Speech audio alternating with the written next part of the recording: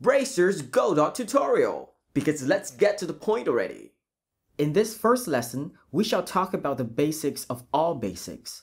It doesn't matter if you're using Godot to create applications or games. All of this consists of you being able to change from one scene to another, like going from the start menu scene to the actual gameplay scene. This is what we'll be covering on the first lesson. 1. How to set the resolution of your game. 2 how to create scenes. 3. How to switch between them. 4. How to incorporate a button to make the switch happen when you press it. Now let's get straight to the point. First, create a new folder to house this project and copy the two images you can download here. The link is down in the description. Second, open Godot, New Project, Browse, and browse to the new folder you have created for this lesson. Click Open, click Create, and then double click on the project to load it up. This is how you set the resolution of your game. Go to Scene, Project Settings, Display.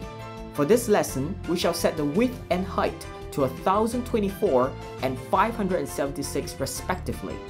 Let's create our first layout. Very easy. First thing you do religiously is to add a base node like so. Now let's add a sprite aka graphic to the layout. Add a child node by right clicking here and select sprite like so. Rename the sprite to background. Under texture, select load. Load layout1.png. Now move the sprite to fit into the rectangular region outlined by very thin lines. You can turn this on to better help you place your sprite in place. Time to incorporate a button right-click Layout 1, add child node, button, size and move the button into place. Set the button text to click me. Now save your scene as Layout 1. Congratulations, you just finished your first layout. Now let's create a second scene. Click Scene, New Scene, and repeat the whole thing again but with a different image. Save this scene as Layout 2.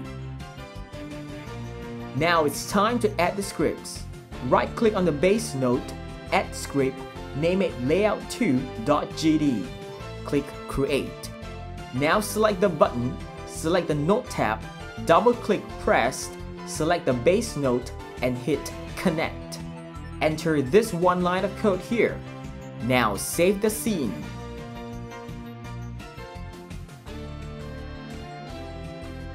Do the same for layout 1 Name the script layout1.gd and repeat what we did previously. Change the scene to switch to layout 2 here. Click the play button. Godot will ask you to choose which layout to load first. Select layout 1, click play again, and there you go. Click the button to see that it works. There, straight to the point, you have learned how to import graphics, getting buttons to work, and even learned how to switch layouts. Because of this first lesson, I will never have to talk about how to save scene and how to add child nodes again. The videos in the future will be even more straight to the point because of this. If you wish to see more straight to the point tutorials like this, vote with your wallet. Contribute to my Patreon here. Thank you.